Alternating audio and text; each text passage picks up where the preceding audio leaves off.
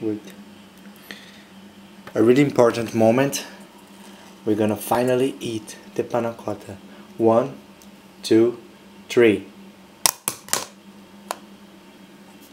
This is the magic. And the magic just happens.